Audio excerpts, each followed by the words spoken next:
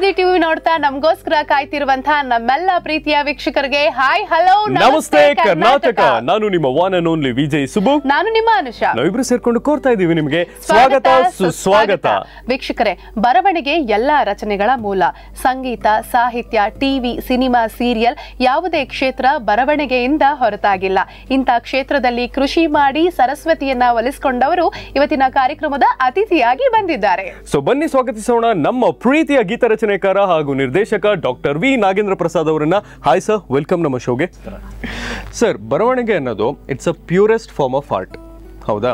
So ಅದು ಎಷ್ಟು simple ಅಷ್ಟೇ ಕಷ್ಟ ಕೂಡ. ಸೊ ನಿಮಗೆ ಯಾವ ವಯಸ್ಸಿನಿಂದ ಈ ಒಂದು ಬರವಣಿಗೆ ಮೇಲೆ ಏನೋ ಇಂಟ್ರೆಸ್ಟ್ ಬಂತು ಅಥವಾ ಆಸಕ್ತಿ ಹುಟ್ಟಿತು ಚಿಕ್ಕ ವಯಸ್ಸಿಂದಲೇ. ಹೌದಾ? ಸ್ಕೂಲ್ ಡೇಸಿಂದನೇ ಬರವಣಿಗೆ ಶುರು ಮಾಡಿದವನು. ಓಕೆ ಆದರೆ ನನಗೆ ಗೊತ್ತಿಲ್ಲ ಆಗ. ನಾನು ಬರಿತಾ ಇರೋದು ಅದೊಂದು ಪೊಯೆಟ್ರಿ ಆ ಥರದ್ದು ಏನು ಐಡಿಯಾ ಇಲ್ದೇನೆ. ನನಗೇನು ಅನಿಸುತ್ತೋ ಅದು ಬರಿತಾ ಇದ್ದೆ. ಅದು ಮೇಸ್ಟ್ರಿಗೆ ತೋರಿಸಿದಾಗ ಅಥವಾ ಯಾರೋ ಫ್ರೆಂಡ್ಸ್ ನೋಡಿದಾಗ ಅರೆ ಏನಿದು? ಚೆನ್ನಾಗಿದೆ? ಅಂತ. ಅದಕ್ಕೇನೋ ಒಂದು ಅದಕ್ಕೆ ಏನೋ ಒಂದು ಅಳತೆ ಇರಬೇಕು. ಅದೆಲ್ಲ ಗೊತ್ತಿರಲಿಲ್ಲ. ನಮ್ಗೆ ಆ ವಯಸ್ಸಲ್ಲಿ ಏನು ಗೊತ್ತಾಗುತ್ತೆ ಅಂದರೆ ಪ್ರಾಸ ಇರಬೇಕು ಅಷ್ಟೇ. ಒಂದು ರೈಮಿಂಗ್ ಇರಬೇಕು. ನಾವೇನು ಬರೆದ್ರು ಅಷ್ಟೇ ತಲೆಯಲ್ಲಿರೋದು ಸೊ ಅದೇ ಬರಿತಾ ಬರಿತಾ ಬರಿತಾ ಎಕ್ಸ್ಪ್ರೆಷನ್ಸು ಬೇರೆ ಬೇರೆ ಆಗ್ತಾ ಹೋಗುತ್ತೆ. ಹೌದು. ಸೊ ಈಗ ನಾವು ಯಾವುದೋ ಒಬ್ಬ ಕವಿದು ತಾಯಿ ಅಂತ ಪದ್ಯ ಓದಿದ್ರೆ ತುಂಬ ಚೆನ್ನಾಗಿದೆಯಲ್ಲ ಇದೆಲ್ಲ ನಮ್ಗೆ ಗೊತ್ತಿರೋ ವಿಷಯ ತಾನೆ. ಆದರೆ ಗೊತ್ತಿರೋದು ಸ್ಟ್ರೈಟಾಗಿ ವರದಿ ಬರ್ದಂಗಲ್ಲ ಅದು. ಹೌದು. ಅದೊಂದು ಪೊಯೆಟ್ರಿ ಆಗಿ ಬರ್ದಾಗ ಹೇಗಿರುತ್ತೆ ಅನ್ನೋದು. ಸೊ ಹಾಗೆ ಬರಿತಾ ಬರಿತಾ ಬರಿತಾ ಹಾಡ್ತಾ ಹಾಡ್ತಾ ರಾಗ. ಸರ್ ಶಾಲಾ ಕಾಲೇಜು ದಿನದಲ್ಲೇ ನಾನು ಬರಿತಾ ಇದೆ ಅಂತ ಹೇಳಿದ್ರಿ. ನಿಮ್ಗೆ ಆವಾಗ ನೀವು ರಚಿಸಿರುವಂತದ್ದು ಅಥವಾ ತುಂಬಾ ನಿಮ್ಗೆ ನೆನಪಿಗೆ ಉಳಿದಿರುವಂತದ್ದು ಯಾವ್ದಾದ್ರು ನೆನಪಿದ್ಯಾ? ನಾನೊಬ್ಬ ಕವಿ. ನಾ ಕೊಡಲಾರೆ ನನ್ನನ್ನು ಅಪಹಾಸ್ಯ ಮಾಡುವವರೆಡೆಗೆ ನನ್ನ ಕಿವಿ. ಆಹಾ. ವಾವ್ ಎಷ್ಟನೇ ವಯಸ್ಸಲ್ಲಿ ಬರ್ದಿತ್ತು ಸರ್ ಇದು? ಇದು ಒಂದು ಐದನೇ ಕ್ಲಾಸ್ ಇರ್ಬೋದು ಯಪ್ಪ. ಸರ್ ಯೂಶಲ್ ಆಗಿ ಐದನೇ ಕ್ಲಾಸ್ಗೆ ನಮ್ಗಳಿಗೆ ನೋಡಂಗಿದ್ರೆ ಅದು ಅಷ್ಟೂ ಬರ್ದಿದ್ರೆ ಮಿನಿಮಮ್ ಅಂದ್ರೆ ಒಂದು ಆರ್ ಸ್ಪೆಲ್ಲಿಂಗ್ ಮಿಸ್ಟೇಕ್ ಇರ್ತಾ ಇತ್ತು sir. Really super very nice sir ಇನ್ನ ನೆನ್ ನೆನಪಲ್ಲಿ ಇದೆಯಲ್ಲ ಅದು ಇನ್ನ ಖುಷಿ ಕೊಡುತ್ತೆ. ಡೆಫಿನೆಟ್ ಆಗಿ ಈಗ ಮೊದಲ ಪ್ರೇಮ ಮೊದಲ ಕವಿತೆ ಇವೆಲ್ಲ ಕೆಲವು ನೆನಪಲ್ಲಿ ಇರುತ್ತೆ. ಹಂಗೆ. ಓಕೆ ಸೊ ಈಗ ನೀವು ಚಿಕ್ಕ ವಯಸ್ಸಲ್ಲೇ ಬರಿತಿದ್ರಿ. ಸೊ ಸ್ಕೂಲಲ್ಲಿ ಏನಾದರೂ ಒಂದು ಬರೆದು ನಿಮ್ಮ ಲೆಕ್ಚರರ್ಗೆ ಇಲ್ಲ ಟೀಚರ್ಗೆ ತೋರಿಸಿದಾಗ ಅವ್ರ ರಿಯಾಕ್ಷನ್ ಹೇಗಿತ್ತು? ಮೊದಲು ಮೊದಲು ಅಂದರೆ ಎಲ್ಲ ಹುಡುಗರು ಬೇರೆ ಬೇರೆ ಆ್ಯಕ್ಟಿವಿಟೀಸಲ್ಲಿ ಇರ್ತಾರಲ್ಲ? ನನ್ನ ಏನು ಅಂತ ಅವ್ರಿಗೂ ಗೊತ್ತಾಗಿ. ಯಾಕೆಂದ್ರೆ ತೋರಿಸಿದ್ದು ನನ್ನ ಫ್ರೆಂಡು ನಾನಲ್ಲ. ನಾನೇನೋ ಬರೆದಿದ್ದೀನಿ ನೋಡಿ ಅಂತ ತೋರಿಸಿಲ್ಲ. ಈ ಪಾಠ ಮಾಡುವಾಗ ನಾನು ಏನೋ ಬರ್ಕೋತಾ ಇದ್ರೆ ಮೇಡಮ್ ಕೂಗ್ತಾರೆ ಗೊತ್ತಾ? ದೇ ಏನು ಮಾಡ್ತಾ ಇದೆಯಾ ಅಲ್ಲಿ? ಪಾಠ ಕೇಳಿದೇನೆ ಅಂತ. ಹಂಗೆ ಒಂದು ಎರಡು ಸಲ ಸಿಕ್ಕಾಕೊಂಡಿದ್ದೆ. ಓಕೆ ಒಂದು ಸಲ ಸಿಕ್ಕಾಕೊಂಡಾಗ ಏನು ಮಾಡ್ತಾ ಇದೆಯಾ ಅಂದರೆ ಏನೋ ಇಲ್ಲಿ ಪಾಠ ಇಲ್ಲಿ ದೇಹ ಮಾತ್ರ ಇಲ್ಲಿರುತ್ತೆ ಕ್ಲಾಸಲ್ಲಿ ಮನ್ಸು ಇನ್ನೆಲ್ಲ ಇರುತ್ತೆ. ಆಗ ಬರ್ಕೊಂಡಿದ್ದಿದ್ದು ಸಾಲುಗಳು. ಆಗ ಕಿತ್ಕೊಂಡು ನೋಡಿ ಏನಿದು ಅಂತ ನೋಡಿದ್ರು. ಏನೋ ಇದು? ಸುಮ್ಮನೆ ಏನೋ ಅನಿಸಿದ್ದು ಬರಿತಾ ಇದ್ದೀನಿ ಮೇಡಮ್ ಹ್ಞೂ ಚೆನ್ನಾಗಿದೆ. ಕ್ಲಾಸ್ ಟೈಮಲ್ಲೆಲ್ಲ ಬರೆಯೋದಿದು ಅಂತ ಇಟ್ಬಿಟ್ರು. ಅದಾದಮೇಲೆ ಟೀಚರ್ಸೇ ಒಬ್ರಿಗೊಬ್ರು ಮಾತಾಡ್ಕೋತಾರಲ್ಲ? ಸ್ಟಾಫ್ ರೂಮ್ ಅಲ್ಲಿ. ಸ್ಟಾಫ್ ರೂಮಲ್ಲಿ ಸೊ ಹಂಗೆ ಮಾತಾಡ್ಕೊಂಡು ಎಲ್ಲರೂ ನನ್ನ ಏ ಏನೋ ಬರೀತಿದ್ದಂತಲ್ಲೋ ಅದೇನು ತೋರಿಸು? ಅಂತ. ಹಾಗೆ ತೋರಿಸ್ತಾ ಒಬ್ಬೊಬ್ರು ಖುಷಿ ಪಡ್ತಾ ಚೆನ್ನಾಗಿದೆ ಬರೆಯೋ. ಅಂತ. ಆಮೇಲೆ ಈ ಸ್ಕೂಲ್ ಡೇಸು ಅದು ಇದು ಆಗ್ಬೇಕಾದ್ರೆ ನಾಟಕ ಆಗಲಿ ಯಾವುದೋ ಒಂದು ಪದ್ಯ ಬರೆದು ಓದೋದು ದೇಶಭಕ್ತಿ ಗೀತೆ ಬರೀ ಅನ್ನೋದು ಈ ಥರದ್ದೆಲ್ಲ ಆಗ್ತಿತ್ತು. ಹಾಗೆ ಅವರೆಲ್ಲ ಬೆನ್ ತಟ್ಟಿದ್ರಿಂದ ನಾನು ಇವತ್ತು ಇಲ್ಲಿ ಕೂತಿದ್ದೀನಿ. ಸೊ ಇವಾಗ ಬರಿತಾ ಬರಿತಾ ಬರುತ್ತಾ ನಿಮಗೆ ಗೊತ್ತಿಲ್ಲದೆ ನಿಮ್ ನಿಮ್ಮ ಒಳಗೊಬ್ಬ ಕವಿ ಉಟ್ಕೊತಾನೆ. ಸೊ ಇಲ್ಲ ಇದನ್ನ ನಾನು ಒಂದು ವೃತ್ತಿಯಾಗಿ ತಗೊಬೋದು ಇಲ್ಲ ನಾನೊಬ್ಬ ಸೀರಿಯಸ್ ರೈಟರ್ ಆಗಬೇಕು ಅಂತ ಅನ್ಸಿದ್ಯಾ ಅವಾಗ? ಇವತ್ತಿಗೂ ಅನಿಸಿಲ್ಲ ನನಗೆ ಸೀರಿಯಸ್ ರೈಟರ್ ಅಂತ ನೀವು ಹೇಳ್ಬೇಕಷ್ಟೇ ನನಗೆ ಇನ್ನೂವರೆಗೂ ಅದು ಗೊತ್ತಿಲ್ಲ. ಬಿಕಾಸ್ ಒಟ್ಟಲ್ಲಿ ನಾನು ಸಿನಿಮಾ ಮಾಡಬೇಕು ಅಂತ ಬಂದೆ. ಸಿನಿಮಾ ನಿರ್ದೇಶಕ ಆಗಬೇಕು ಸಿನಿಮಾದಲ್ಲಿ ಇರ್ಬೇಕು ನಾನು ಅಂತ. ಬಟ್ ಆ್ಯಕ್ಟ್ರಾಗಿ ಮುಂದುವರಿಬೇಕು ಅಂತ ನನಗೆ ಯಾವತ್ತೂ ಅನಿಸಿಲ್ಲ ಬಿಕಾಸ್ ತೆರೆಯ ಮೇಲಿರುವವರು ಕೂಡ ತೆರೆ ಹಿಂದೆ ಇರೋ ಒಬ್ಬ ಡೈರೆಕ್ಟರ್ನ ಒಬ್ಬ ರೈಟರ್ನ ಅವ್ರ ಶಾಡೋನಲ್ಲಿ ಇರ್ತಾರೆ ಹೌದು. ಅವರೇ ನಿಮಗೆ ಒಂದು ಆಲದ ಮರ. ಹೌದು. ಆ ಮರದ ನೆರಳಲ್ಲಿರೋರು ಅಲ್ವಾ? ಸೊ ನಾವು ಅಂಥದ್ದಾಗಬೇಕು. ಅನ್ನೋದು ಹೆಚ್ಚು ಇಷ್ಟ ಇತ್ತು ನನಗೆ. ಹಾಗಾಗಿ ರೈಟ್ರಾಗಿ ಮುಂದುವರೆದೆ. ಮ್ಯೂಸಿಕ್ ಮಾಡಿದೆ ಡೈಲಾಗ್ ಬರದೆ ಡೈರೆಕ್ಷನ್ ಮಾಡಿದೆ ಸೊ ಒಟ್ಟು ನಾನು ಆ ಪರಿಸರದಲ್ಲಿ ಇದ್ದೀನಿ ಅದರಿಂದ ಅದೇ ನನ್ನ ಜೀವನ ಆಗೋಯ್ತು. ಓಕೆ ಬಟ್ ನೀವು ಹೇಳ್ಬೋದು ಸೀರಿಯಸ್ ಆಗಿ ಬರೀತಿಲ್ಲ ಅಂತ ಬಟ್ ನಮ್ಮೆಲ್ಲರಿಗೂ ಗೊತ್ತಿರೋ ಹಂಗೆ ನೀವು ಸರಸ್ವತಿ ಪುತ್ರರ ಸರ್ ಸರ್ ಖಂಡಿತ. ಹಾಗೆ ಇವಾಗ ಸಿನಿಮಾ ಬಗ್ಗೆ ನೀವು ಮಾತಾಡ್ತಾ ಇದ್ರಿ ಸಿನಿಮಾ ಬಗ್ಗೆ ಇರೋ ಪ್ರೀತಿ ಬಗ್ಗೆ ಮಾತನಾಡ್ತಾ ಇದ್ರಿ. ಫಸ್ಟ್ ಟೈಮ್ ಸಿನಿಮಾಗೆ ಕೆಲಸ ಮಾಡಿದ್ ಯಾವಾಗ ಸರ್ ನೀವು?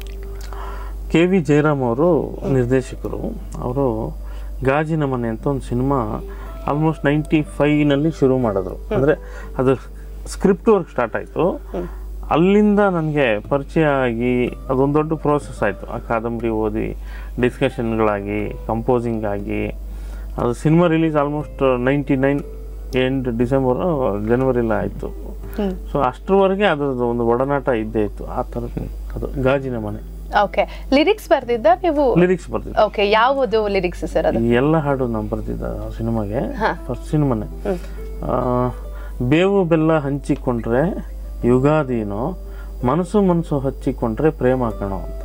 ಓಕೆ ಆ, ಆ ಥರದ್ದು. ಆ ಹಾಡಲ್ಲಿ ಸ್ಪೆಷಾಲಿಟಿ ಏನಂದ್ರೆ ಸುಮಾರು ಒಟ್ಟು ಹದಿನಾರು ಹಬ್ಬಗಳು ಬರುತ್ತೆ. ಆರ್ಡ್ರಲ್ಲಿ ಬರುತ್ತೆ. ಓಕೆ ನೀವು ಆ ಹಾಡನ್ನ ನೆನ್ಪಿಟ್ಕೊಂಡ್ಬಿಟ್ರೆ ನೆಕ್ಸ್ಟ್ ಹಾಡು ಯಾವುದು ಅಂತ ಗೊತ್ತಾಗುತ್ತೆ ನಿಮಗೆ. ನೆಕ್ಸ್ಟ್ ಹಬ್ಬ ಯಾವುದು ಅಂತ. ಓಕೆ ಹದಿನಾರು ಹಬ್ಬಗಳು ಬರುತ್ತೆ. ಹೌದು. ಹದಿನಾರು ಹಬ್ಬಗಳು ಆರ್ಡ್ರಲ್ಲಿರುತ್ತೆ ಒಂದೊಂದು ಹಬ್ಬನೂ ನೆನಪಾಗುತ್ತೆ ನಿಮ್ಗೆ. ಒಂದು ಲೈನ್ ನೆಕ್ಸ್ಟ್ ಲೈನ್ ಮಣ್ಣ ದೀಪ ಹಚ್ಚಿದರೆ ದೀಪಾವಳಿ ಕಣ್ಣ ದೀಪ ಹಚ್ಚಿ ನೋಡು ಪ್ರೇಮಾವಳಿ ಹತ್ತು ದಿನ ಸಡಗರದ ದಸರಾ ಅಂತೆ ಮುತ್ತು ಕೊಟ್ರೆ ಸರಸದ ಸದರ ಅಂತೆ. ಹೀಗಿರುತ್ತೆ ಲವ್ ಅಂಡ್ ಹಬ್ಬ. ಓಕೆ ಸಂಕ್ರಾಂತಿಯಿಂದ ಶುರುವಾಗಿ ಎಲ್ಲ ದೀಪಾವಳಿವರೆಗೂ ಎಲ್ಲ ಆಚರಿಸ್ತೀವಿ ಆ ಹಾಡಿನಲ್ಲಿ. ಸರ್ ನಿಮಗೆ ಬರವಣಿಗೆಯಲ್ಲಿ ಏನೋ ತುಂಬಾ ಒಂದು ದೊಡ್ಡ ಹೆಸರು ತಂದುಕೊಟ್ಟಂತ ಫಿಲಮ್ ಯಾವ್ದು? ಅಲ್ಲ ನನಗೆ ಇದು ಅಂತ ಏನು ನಿಮ್ಮನ್ನ ಜಾಸ್ತಿ ಜನ ಗುರುತಿಸಿರೋದಾಗಿರಬಹುದು. ಯಾವ ಒಂದು ಹಾಡಿನ ಮೂಲಕ? ನನ್ನ ಫಸ್ಟ್ ಹೆಚ್ಚು ನನ್ನ ಮೇಲೆ ಫೋಕಸ್ ಆಗಿದ್ದು ನಾನು ಚಿತ್ರ ಸಿನಿಮಾ ಆಕ್ಟ್ ಮಾಡಿದ್ರಿಂದ. ಆ್ಯಕ್ಟರ್ ಆಗಿ ಫಸ್ಟ್ ನೋಡಿದ್ರು ನನ್ನ. ಹಾ. ಆ, ಅದಕ್ಕೆ ಮುಂಚೆ ಬರೆದ ಕೆಲವು ಸಿನಿಮಾಗಳು ಹಾಡುಗಳು ಅಲ್ಲಿ ಇಲ್ಲಿ ಗುನುಗ್ತಿದ್ರು ಕೂಡ ದೊಡ್ಡ ಸಕ್ಸಸ್ಫುಲ್ ಸಾಂಗ್ಸ್ ಆಗಿಲ್ಲ. ಅದಾದ್ಮೇಲೆ ಒಬ್ಬನೇ ಒಬ್ಬನೇ ಮಂಜುನಾಥನೊಬ್ಬನೇ. ಅದೊಂದು ಒಂದು ಒಂದು ಮಟ್ಟಕ್ಕೆ ಆಗ ಹೆಸರಾಯಿತು. ಬಟ್ ತುಂಬ ಫುಲ್ ಫ್ಲೆಜ್ಡ್ ಆಗಿ ಅಂದರೆ ನನಗೆ ಮೆಜೆಸ್ಟಿಕ್ ಕರಿಯಾ ಎಕ್ಸ್ಕ್ಯೂಸ್ ಮೀ ಈ ಸಿನಿಮಾಗಳು ಭಾಳ ದೊಡ್ಡ ಗುರ್ಸಕ್ಕೆ ಶುರು ಮಾಡಿದ್ರು ಜನ. ಸರ್ ಒಬ್ಬ ರೈಟರ್ ಒಳಗೆ ಒಬ್ಬ ಡೈರೆಕ್ಟರ್ ಇದ್ದೇ ಇರ್ತಾನಂತೆ. ಸೊ ನಿಮಗೆ ಇಲ್ಲಪ್ಪ ನಾನು ರೈಟರ್ ಜೊತೆ ಡೈರೆಕ್ಟರ್ ಆಗಬೇಕು ಅಂತ ಅನಿಸಿದ್ಯಾ ಅವಾಗ? ನಾನು ಬೇಸಿಕಲಿ ಸಿನಿಮಾ ಬರೋ ಬರುವಾಗ ಈ ಕಾಲೇಜಲ್ಲಿ ನಾವು ಡ್ರಾಮಾ ಮಾಡ್ತಿದ್ವಿ. ಕಾಲೇಜಲ್ಲಿ ಇದ್ದಾಗಲೇ. ಅಲ್ಲಿಂದ ಒಂದು ತಂಡ ಕಟ್ಕೊಂಡು ಬೇರೆ ಬೇರೆ ಕಡೆ ನಾಟಕಗಳು ಮಾಡ್ತಿದ್ವಿ. ಬೀದಿ ನಾಟಕಗಳು ಮಾಡ್ತಿದ್ವಿ. ರೇಡಿಯೋ ನಾಟಕಗಳು ಮಾಡ್ತಿದ್ವಿ. ಹೀಗೆ ಒಂದು ದೊಡ್ಡ ಪ್ರೋಸೆಸ್ ಅದು ನಾಟಕದ್ದು. ಅಲ್ಲಿ ನಾನು ಡೈರೆಕ್ಟ್ ಮಾಡ್ತಿದ್ದೆ. ನಾಟಕ ಬರೀತಿದ್ದೆ ಡೈರೆಕ್ಟ್ ಮಾಡ್ತಿದ್ದೆ ಆ್ಯಕ್ಟ್ ಮಾಡ್ತಿದ್ದೆ ನಾಟಕಕ್ಕೆ ಮ್ಯೂಸಿಕ್ ಮಾಡ್ತಿದ್ದೆ ಲೈಟಿಂಗ್ ಮಾಡ್ತಿದ್ದೆ ಮೇಕಪ್ ಮಾಡ್ತಿದ್ದೆ. ಇಂಥದ್ದಿಲ್ಲ ನನಗೆಲ್ಲ ಡ್ರಾಮಾ ಅಂದ ಕೂಡ ನೀವು ಎಲ್ಲವನ್ನೂ ಕಲಿಯದೆ. ಸೊ ಡಿಪ್ಲೊಮಾ ಇನ್ ಡ್ರಾಮಾ ಮಾಡಿದೆ. ಓಕೆ ಆ ಫ್ಲೋನಲ್ಲಿದ್ದಾಗ ನನಗೆ ಒಳಗಿರೋನು ಮೇಜರಾಗಿ ಒಬ್ಬ ಡೈರೆಕ್ಟ್ರೆ ಯಾಕೆಂದರೆ ಭಾಳ ಸರಳವಾಗಿ ಅದೆಲ್ಲ ರೂಢಿಸ್ಕೊಂಡಿದ್ದರಿಂದ ಅದು ಸುಲಭ ಆಯಿತು. ಓಕೆ ಒಂದು ಅಚಾನಕ್ಕಾಗಿ ನನಗೊಂದು ಆಪರ್ಚುನಿಟಿ ಸಿಕ್ತು. ನಲ್ಲ ಸಿನಿಮಾ ಮಾಡೋಕ್ಕೆ. ನಿಮಗೆ ಒಂದು ಸಾಂಗ್ ಇನ್ಸಿಡೆಂಟ್ ಕೊಟ್ಟಾಗ ಯಾವ ತರ ಪ್ರಾರಂಭಿಸ್ತೀರಾ ಸರ್ ನಿಮಗೆ? ಬರಿಬೇಕಂದ್ರೆ ಯಾವ ಥರ ಪ್ರಾರಂಭ ಮಾಡ್ತೀರಾ? ಅಥವಾ ನಮ್ಗೊಂದು ಕ್ಯೂರಿಯಾಸಿಟಿ ಅಷ್ಟೇ ಅದು ಫಸ್ಟ್ ಶ್ರೀ ಬರಿತೀರಾ ಓಂ ಬರಿತೀರಾ? ಅಥವಾ ಫಿಲಂ ಹೆಸರು ಬರಿತೀರಾ ಅಥವಾ ಏನು ಬರಿತೀರಾ? ಎಕ್ಸಾಕ್ಟ್ಲಿ ಫಸ್ಟ್ ಬೇಸಿಕ್ ಆಗಿ ಹ, ಬರೆಯೋದು ಯಾವಾಗ ಗೊತ್ತಾ? ಬಂದಾಗ. ಇಲ್ಲಿ ಬಂದಾಗ್ಲೇ. ಸುಮ್ಮನೆ ಬರೆಯೋಕ್ಕಾಗಲ್ಲ ಸೊ ಇಲ್ಲಿ ಬಂದಾಗ ಬರೋದು ಓಂ ಶ್ರೀ ಇನ್ನೇನು ಇನ್ನೇನು ಏನೂ ಬರೋದಿಲ್ಲ. ಸಿನಿಮಾ ಹೆಸರು ಏನೂ ಬರೋದಿಲ್ಲ. ಇಲ್ಲಿ ಬಂದಾಗ್ಲೇ ಸಾಲುಗಳು ಬರೋಕ್ಕೆ ಶುರು ಆಗುತ್ತೆ ಓಕೆ ಆ ಸಾಲುಗಳನ್ನ ಶುರು ಮಾಡ್ತೀನಿ. ಅಷ್ಟೇ. ಓಂ ಶ್ರೀ ಅಂತ ಬರಿತೀನಿ. ಓಂ ಶ್ರೀಮ್ ಅಂತ. ಆ, ಸಾಲುಗಳು ಶುರು ಆಗ್ಬಿಡುತ್ತೆ ಫಸ್ಟ್ ಒಂದು ಸಣ್ಣ ಆಟ. ನೀವು ಕೂಡ ಸಾಹಿತಿಗಳು ನಮ್ಮ ಕಾರ್ಯಕ್ರಮಕ್ಕೆ ಬಂದಿದ್ದೀರಾ. ಬಹಳ ಸಂತೋಷ ಆಗ್ತದೆ. ಅದಕ್ಕೋಸ್ಕರ ನಿಮಗೋಸ್ಕರ ಒಂದು ಬ್ಯೂಟಿಫುಲ್ ಆಗಿರುವಂತ ಒಂದು ಗೇಮು ಬೋರ್ಡ್ ಬರಹ ಅಂತ. ಸೊ ಬೋರ್ಡ್ ಬರಹದಲ್ಲಿ ನಾವು ಕೆಲವೊಂದು ಪದಗಳನ್ನ ನಿಮ್ಗೆ ಕೊಡ್ತೀವಿ. ಆ ಪದಗಳು ನಿಮ್ಗೆ ನೆನಪಿಗೆ ಬಂದಿದ ತಕ್ಷಣ ಯಾವ ಒಂದು ಇನ್ಸಿಡೆಂಟ್ ಅಥವಾ ಅದಕ್ಕೆ ರಿಲೇಟೆಡ್ ಏನು ನೆನಪಾಗುತ್ತೋ ಅದನ್ನ ಬೋರ್ಡ್ನಲ್ಲಿ ಬರಿಬೇಕಾಗುತ್ತೆ. ತ್ರೀ ಸೆಕೆಂಡ್ಸ್ ಟೈಮ್ ಇರುತ್ತೆ. ಓಕೆ ಬೋರ್ಡ್ ನಿಮ್ದು. ಸೊ ನಿಮ್ಮ ಫಸ್ಟ್ ಪದ ಪೆನ್ನು.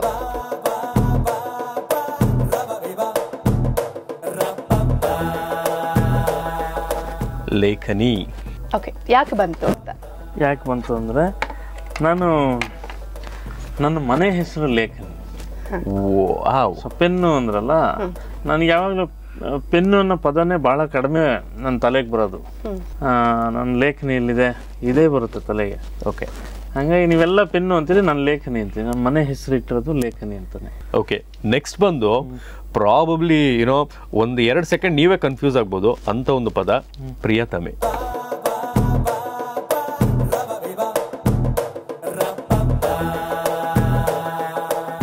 ಟೈಮೇ ತೊಳಲ್ಲ ನಾನು. ಕನ್ಫ್ಯೂಸ್ ಆಗೋದು ಎಲ್ಲಿ? ಓಕೆ ಯಮುನಾ. ಓಕೆ ಅವ್ರ ಬಗ್ಗೆ ಹೇಳಿ ಸರ್. ನನ್ನ ವೈಫ್ ಹೆಸರು ಯಮುನಾ. ಅವಳೇ ಪ್ರಿಯತಮೆ ಕೂಡ.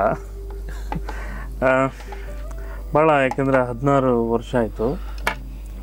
With lot of love affection ಇದ್ದೀವಿ. ನನಗೆ ನನ್ನ ಯಾವಾಗಲೂ ಕೇಳ್ತಾಳೆ ನನ್ನ ನೆನೆಸ್ಕೊಂಡು ನನ್ನ ನೆನೆಸ್ಕೊಂಡು ಯಾವ ಹಾಡು ಬರೆದ್ರಿ ಅಂತ. ನಾನು ಬರ್ತಿದ್ದೆಲ್ಲ ನಿನ್ನೆ ನೆನೆಸ್ಕೊಂಡು. ಓ. ನಿಮ್ಮ ಮುಂದಿನ ಪದ ಅಮ್ಮ.